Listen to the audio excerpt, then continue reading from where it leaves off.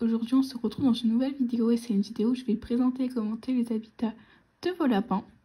Comme d'habitude, je vous mets toutes les conditions si vous voulez participer dans la barre d'infos, il y a tout qui est expliqué et n'hésitez pas à venir nous suivre sur Instagram avant de commencer la vidéo.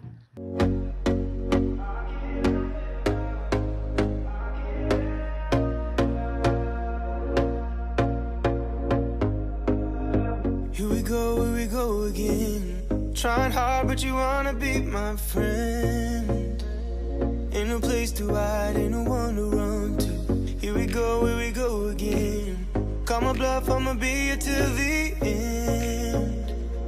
I'm the one you ride, Pour l'habitat de nuage, c'est vraiment super cool. Il a accès à un enclos euh, la nuit et la journée. Et la journée, il est également en liberté dans une chambre. Donc c'est vraiment top. Il a plein de place. Au niveau de son enclos, il a plusieurs bacs à litière. Tu lui as mis un râtelier à foin. J'ai l'impression que tu as du champ dans litière. C'est nickel. Il a un petit arbre à chat. Il a des petits tunnels, plein de petits jouets. Donc c'est vraiment cool.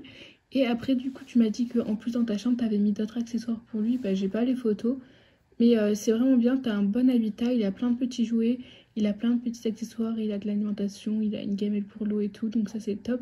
Ce que tu peux lui rajouter, tu peux lui mettre des petites, euh, d'autres petites cabanes en bois par exemple. Enfin, c'est déjà, t'as déjà un très très bon habitat, mais si tu veux rajouter des trucs en plus, tu peux lui rajouter euh, d'autres petites cabanes en bois parce que ça ils aiment beaucoup ou, ou encore d'autres jouets, mais t'as déjà un habitat qui est très très bien, du coup c'est vraiment super. On passe à l'habitat de Rafi, il est vraiment beaucoup trop mignon. Pour son petit habitat, c'est vraiment top, c'est un habitat qui est super bien. Alors je pense que du coup il est en liberté dans une pièce, il a vraiment euh, plein de jouets, plein de petites cabanes sur quoi il peut sauter, il a des arbres des tunnels, plein d'endroits où il peut dormir, des petits tapis, vraiment des tunnels en rotin, des tunnels en matière toutou, des petits jouets en mode balle, des petits jouets euh, bah, à grignoter. Il a plein d'endroits où il peut sauter, donc ça doit vraiment adorer sauter. Il a plusieurs bacs à avec du foin. T'as un arbre à chat, donc ça c'est top, une petite gamelle pour l'eau. Donc franchement, t'as un habitat euh, qui est vraiment euh, très très bien. Il a euh, tout ce qu'il faut, donc c'est vraiment super. Pour l'habitat de Poppy, alors tu m'as dit que c'était un habitat qui était provisoire parce que tu venais de l'avoir, donc je pense que c'est pour sa quarantaine. Donc si la cage est toujours ouverte, c'est bien, même si c'est que... Enfin, après, si tu viens de l'avoir, tu peux la laisser en cage les premiers jours si tu vois qu'elle est un petit peu timide et tout parce que au début ils ont besoin d'avoir leur petit espace n'hésite pas après à passer à un enclos. Après tu m'as dit que tu allais la mettre dehors. Et va attention que ça se réchauffe un peu avant de la mettre dehors parce que si tu la mets maintenant ça risque d'être un petit peu trop froid. Alors je te conseille d'attendre que la température intérieure soit la même que la température extérieure. Alors au niveau de sa cage ce qui est bien c'est que tu as une bonne litière tu as du foin. N'hésite pas à lui mettre le foin dans son ce sera peut-être plus simple tu lui as fait des petits jouets elle a plusieurs cabanes elle a des petits étages donc ça c'est vraiment top. Donc voilà, c'est très important après que tu la fasses beaucoup sortir. Tu peux lui rajouter d'autres petits jouets, des petits trucs à grignoter pour pas qu'elle s'ennuie. Et tu peux lui mettre après dans son espace de sortie euh, des petits tunnels, des choses comme ça. Mais sinon voilà, c'est après tu as quand même une bonne passe d'habitat. Si euh, c'est que provisoire, c'est bien. Pour l'habitat de Hibernia, j'espère que je le prononce bien.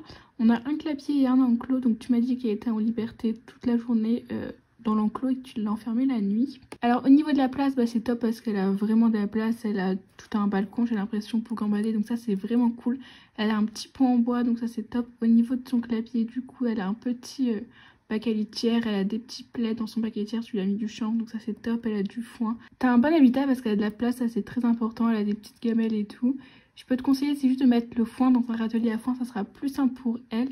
Et n'hésite pas, tu peux rajouter des petits jouets, des petits tunnels, des petites cabanes pour qu'elle saute dessus, des petits arbres à chat. Tu peux lui faire euh, des petits jouets avec des, des cartons, tu sais, pour qu'elle puisse sauter sur des cartons. Tu peux lui retourner des cagettes, tu peux lui faire plein de trucs comme ça, cool. T'as le petit pot en bois, ça c'est top. T'as un bon habitat parce qu'elle a de la place, mais n'hésite pas à lui rajouter quelques petits trucs euh, sympas à rajouter. On continue avec l'habitat de Abby. Alors elle est en semi-liberté intérieure, elle a aussi accès à un, un enclos extérieur. Donc on va voir son petit enclos intérieur. Donc au niveau de son enclos intérieur c'est cool parce que du coup elle a la place, surtout si elle est en semi-liberté, elle peut sortir plusieurs heures euh, dans une pièce, donc ça c'est top. Tu lui as fait des petites cabanes, elle peut aller dedans, aller dessous, elle a plein de petits paniers, elle a un paquet litière. N'hésite pas à lui mettre un râtelier pour le foin, ça sera... En général quand on met râtelier ils en mangent plus parce qu'ils le souillent pas. Et euh, bah, c'est très important qu'ils mangent plein de foin, donc n'hésite pas à mettre un râtelier pour le foin. Après tu lui as mis plein de petits jouets, elle a une gamelle d'eau, elle a des petits pots en bois. Donc c'est vraiment cool, t'as un bon habitat, elle a de la place, elle est sur un tapis, donc ça c'est top. N'hésite pas, tu peux lui mettre des petits tunnels, donc peut-être plus dans ta chambre parce que dans l'enclos ça risque d'être un peu juste. Tu peux lui mettre des balles à friandises, ça ils adorent. Mais sinon, tu as un très bon habitat, elle a de la place, elle a des accessoires, elle peut sauter un petit peu. Donc ça, c'est vraiment bien. On continue avec l'habitat de Praline. Alors, elle est en liberté la journée. Euh, elle est en liberté et quand sa propriétaire est pas là, elle est euh, dans un enclos, donc on voit pas, mais il y a un enclos, si j'ai bien compris, il y a un enclos qui fait tout tapis vert, donc c'est bien, elle a de la place, c'est cool. Tu m'as dit qu'elle n'arrivait pas à boire au biberon, enfin la gamelle, du coup c'est pour ça que tu lui avais laissé le biberon. Sinon c'est bien, alors elle a une petite maison, ça c'est cool, elle a plein de place, donc ça c'est top, elle peut sauter, elle a une petite cabane, elle peut sauter... Euh, à côté, elle a plein d'endroits où elle peut sauter, donc ça c'est bien parce qu'ils adorent sauter les lapins. Elle peut monter en haut de la cage, je lui ai mis plein de petits plaies, donc ça c'est vraiment cool. Elle a euh, du coup son petit euh, râtelier à foin. Je sais pas si tu lui as mis, je suppose que tu as la litière euh, en bas de la cage qui utilise sa cage comme à litière. N'hésite pas à lui rajouter des petits jouets, des balles à friandises, des petites cabanes. Mais sinon, tu as un bon habitat parce qu'elle a plein de place, elle a plein d'endroits où elle peut sauter, ça ils adorent. Donc tu as un bon habitat, c'est cool. Pour l'habitat de Pompon, c'est super cool. L'hiver, elle est du coup dans une pièce, elle a le droit à quelques sorties en plus. Et l'été, elle vit à l'extérieur. Donc au niveau de sa pièce, euh, pour euh, l'intérieur, c'est vraiment bien parce que du coup, elle a beaucoup de place. Ça, c'est super important. Tu lui as fait des petites cabanes, elle a des petits endroits où elle peut sauter. Elle a plein de petits jouets. Elle a une petite cabane en bois, elle a du foin, bac à litière. N'hésite pas à euh, changer la place de ton foin pour vraiment lui mettre au-dessus de son bac à litière. Ce sera plus simple parce que vraiment, ils font leurs besoins en même temps qu'ils mangent. Donc tu peux lui mettre par exemple un petit râtelier à foin à côté et pour bac euh, aussi, c'est, enfin si elle fait très bien ses besoins dedans, c'est nickel. Mais en général, c'est plus simple pour eux des bacs des bacs pour chats, donc euh, qui sont euh, rectangulaires. En général, c'est plus simple, ils préfèrent pour faire leurs besoins. si ça marche très bien pour toi le bac, le, donc t'as pas besoin de changer. Mais si tu vois qu'elle a un petit peu du mal à faire ses besoins dedans, tu peux changer. Et tu auras plus la place pour mettre un râtelier. Mais sinon, c'est bien, tu un très bon habitat, elle a de la place. Tu peux lui mettre une cagette dans l'autre sens, enfin genre renverser, tu lui mets un plaid dedans, comme ça ça peut lui faire un petit panier, ça ils aiment beaucoup. Et euh, voilà, sinon c'est très bien, fais attention à ta boule à fond aussi parce que ça ils peuvent se coincer euh, la tête dedans. Mais sinon t'as un habitat qui est grand et tout et c'est vraiment cool. On continue avec l'habitat d'un petit lapin, donc si j'ai bien compris il est en liberté dans une pièce et en plus quand vous êtes là vous lui ouvrez une grille et il peut sortir, donc si j'ai bien compris c'est ça. Donc au niveau de sa pièce c'est vraiment cool, s'il est tout en liberté là-dedans c'est top. Il a euh, une petite cage, donc dans sa cage, ça lui fait, bah, ça peut lui faire un petit coin cabane. Donc euh, il a des petits coussins au-dessus. Tu m'as dit que c'était pour isoler, puis je pense qu'il peut sauter dessus aussi, donc ça peut être cool.